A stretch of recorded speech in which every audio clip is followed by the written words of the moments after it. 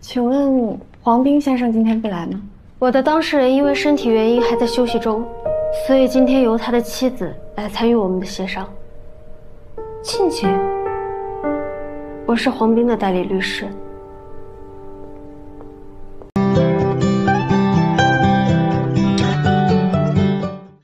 哎，黄斌怎么样了？医生说情况已经稳定下来了。那就好。哎，你说为什么会发生这种事情呢？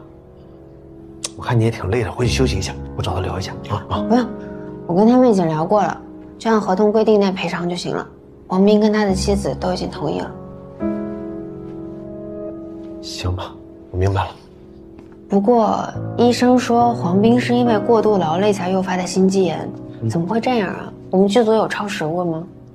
不可能啊，我们剧组的拍摄压力不是很大，不会发生这种事情啊。那这样。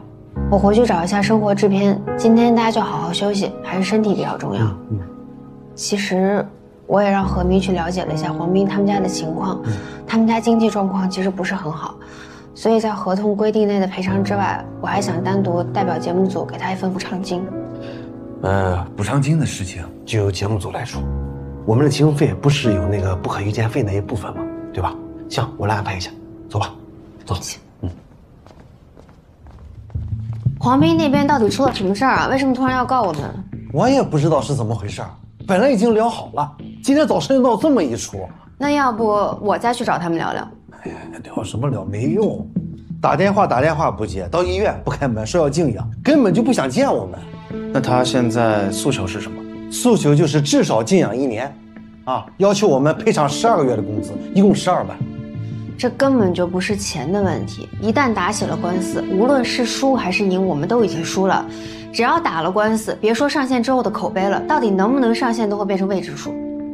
现在更重要的是什么啊？我们的节目马上就要停拍了。为什么呀？今天早上和黄明好的那几个工人啊，都请假不想出工，说我们压榨黄明，不想赔付，非让我们给一个结果，怎么办？看来有人想把事情闹大呀。肯定是黄斌和他老婆用这种方式来压榨我们。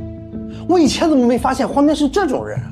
你先别着急，一切按照程序走，只要合理合法，我们身正不怕影子歪，都是可以解决的。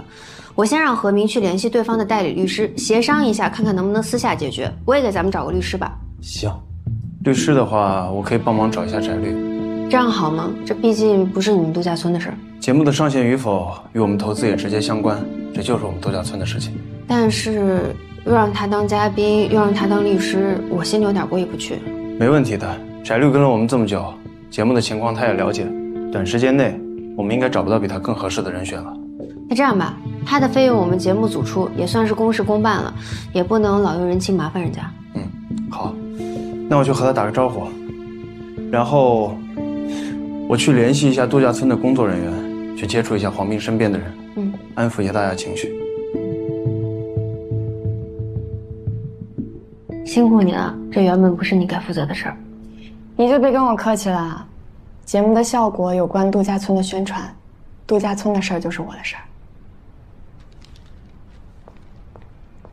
哎，你好，请问黄斌先生今天不来吗？我的当事人因为身体原因还在休息中，所以今天由他的妻子来参与我们的协商。亲戚。我是黄斌的代理律师。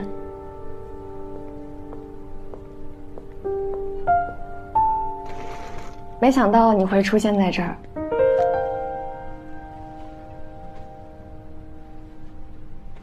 既然人都到齐了，那我们开始。可以的。好。我们今天坐在这儿呢，主要是协商黄斌先生的赔偿问题。我方认为黄斌先生的心肌炎与工作存在某些关联，但并非绝对因果关系，并且黄斌先生的情况并不属于工伤保险条例当中规定的工伤鉴定标准，这点您应该是清楚的吧？我知道。那既然如此。我们就无法答应您方提出的十二万元的赔偿金额。不过，鉴于黄斌先生的经济状况，节目组愿意尽快的给予赔偿。在我看来，对双方最好的方案就是，我们在合同约定的赔偿金额外，再额外支付两万元的休养费。因为黄斌先生的情况不符合工伤保险条例的鉴定标准，所以我方不准备向节目组索要工伤赔偿。我们提出的十二万元赔偿款，是当事人向节目组索取的人道主义关怀赔偿。所谓人道主义关怀赔偿，是指在法律上没有赔偿的责任和义务，出于关心和同情所给予的一定经济补偿。一般来说呢，这个人道主义赔偿是没有固定的数额的，需要根据情况是否严重来确定赔偿的金额。基于黄明先生的经济情况，考虑到他未来收入所受到的影响，以及黄明先生在住院期间需要付出的费用，我方一共要求十二万元的补偿款。人道主义关怀赔偿并不具有法律效力，我方可以直接拒绝。但节目组最终是要面向大众的，基于这个特殊的性质，我方还是希望你方可以认真考虑一下我方的提议。你干嘛跟他们说的这么文绉绉的呀？反正光脚的不怕穿鞋的。您先冷静一下，我们还是合理的提出我们的诉求比较好。那接下来我们就可以协商一下赔偿的细则了。